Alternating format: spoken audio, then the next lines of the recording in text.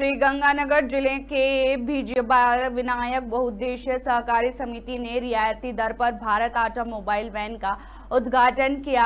भिजब्यावाला समिति के सुरेंद्र थाकर सत्यपाल विष्णु ने बताया कि एनसीसीएफ प्रबंधक राकेश भूरिया और मार्केटिंग मैनेजर सचिन के निर्देशानुसार प्रचार वैन को झंडी दिखाकर आधा दर्जन मोबाइल वैनों को रवाना किया गया। श्रीगंगानगर ज़िले में भारत आटा का 10 किलो का बैग, जो कि साढ़े सत्ताईस रुपये प्रति किलो के हिसाब से, एक उपभोक्ता को 10 किलो आटा और साठ रुपये प्रति किलो चना दाल वितरित करेगी। इसके साथ ही गाड़ी गांव-गांव चना दाल भी वितरित करेगी। इस मौके पर महिलाएँ सहित बड़ी संख्या में ग्रामीण मौजूद रहे।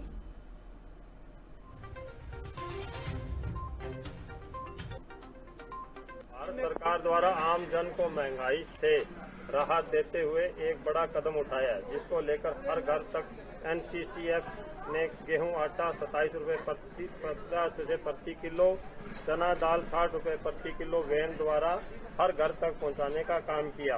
राहत दिलाने के लिए एनसीसीएफ प्रबंधक राकेश जूरिया ने बताया और मार्केटिंग मैनेजर सचिन ने निर्देश दिया कि हर घर तक के मार्केट की वैन जाएगी, सत्ताईस रुपये पचास पैसे किलो आटा और साठ रुपये किलो चना दाल दी जाएगी।